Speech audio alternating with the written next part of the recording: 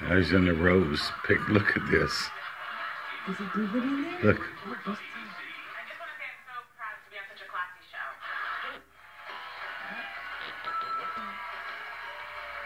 What's there? audience member Shelley inspires my mystery stocking dish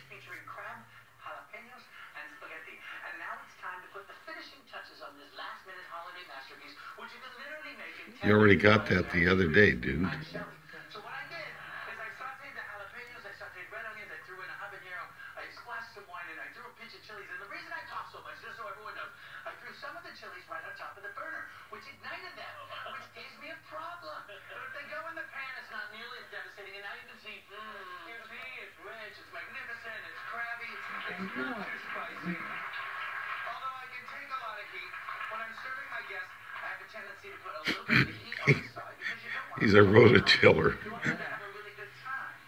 Oh, there it is.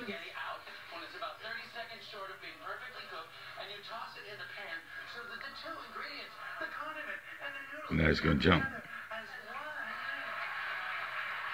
And when you're cooking in that last Yep. second, you make sure that there's not too much liquid because too much moisture. So he's been hiding his food really in there.